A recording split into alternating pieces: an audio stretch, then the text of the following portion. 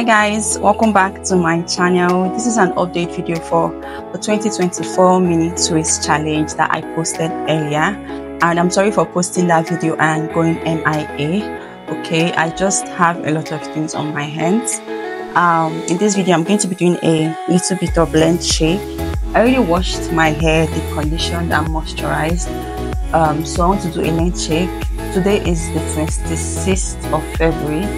So i hopefully i'll post this video on the 26th or 27th so um yeah let's just get into the video.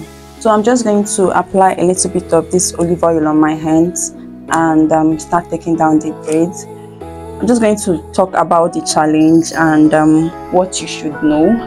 The dates for the challenge is um, 1st march 2024 I, as I said earlier, I don't know when I'm going to post this video, but even if you see this video um, mid-March or somewhere or some other time, it is fine. You can still join the challenge, okay? I like to try out this mini twist challenge for a year, but for starters, I think we're just going to go for three months, okay?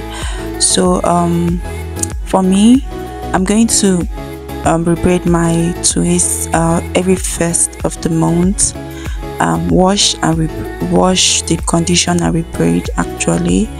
And um, I'm going to be moisturizing once a week. I also try to um, incorporate other stuffs like the scalp massages especially for my edges and nape area where um, my hair is thinning out. Okay and um, yeah it's very important for you to take pictures before you join this challenge. It's going to help you track and um, document how much length and health and volume and all that um, your hair has gained after the challenge okay? So guys this is what my hair looks like. My yeah i do have a little bit of hair a little bit of volume and all. So i want um, to retain more length and um, i also want to grow my edges back. And i just feel like i have my edges are thinning out okay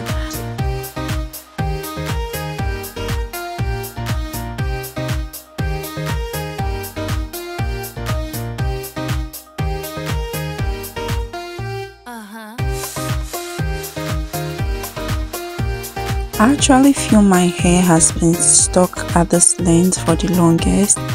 Anyways, I'm trying to mark the and um, yeah, I'm just marking it a little bit uh, above the the point because um, the rest I'm going to trim it off.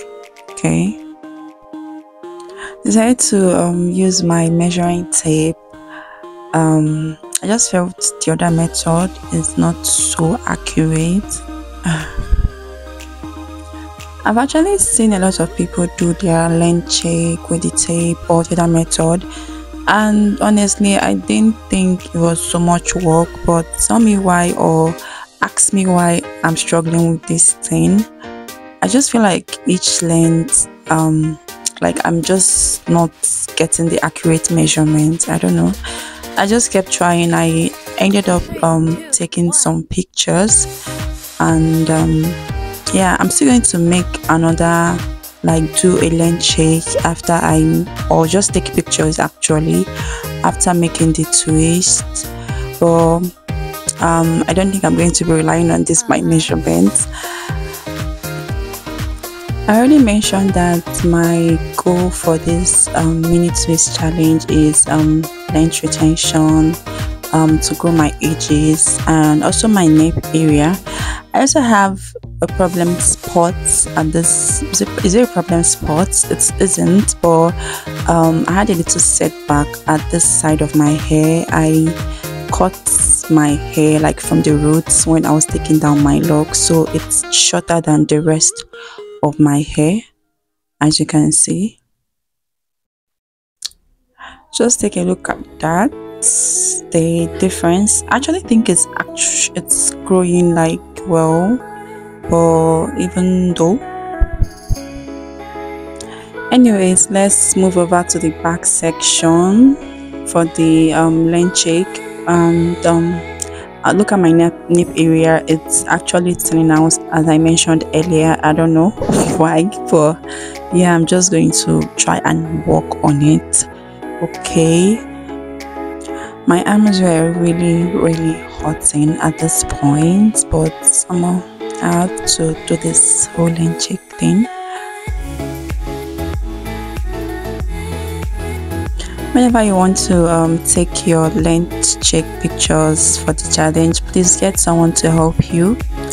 I wouldn't advise you to struggle like i was struggling here.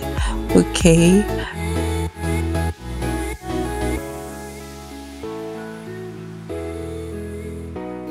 Like the hair on my back is actually longer than the one in front i don't know I also want to reduce breakage and shedding for my hair because my hair breaks and sheds a lot. I know it's normal for my hair to shade or break but the amount I lose is quite a lot. Some things to have in mind for this mini twist challenge. First, make sure you're starting off on clean hair. Don't go and put your dirty hair into a protective style. Uh, it's not making sense okay? Wash your hair deep condition moisturize seal in your moisture before you can put your protective style into your your hair into the protective style sorry. And um, for the protective style i'm going to be doing mini twist. And as i mentioned earlier you can choose to do mini braids you can choose to do cornrows but just make sure your protective style is something that allows you to have access to your scalp and hair so you can easily wash and moisturize your hair with the protective style in okay? And um yeah that's pretty much it. I will see you guys in my next video which is possibly going to be um, an update video or something else about the mini twist okay? I also have a facebook group where i'll be dropping updates daily on that place hopefully um, I'm going to link it down in the description. Um, you can join if you're interested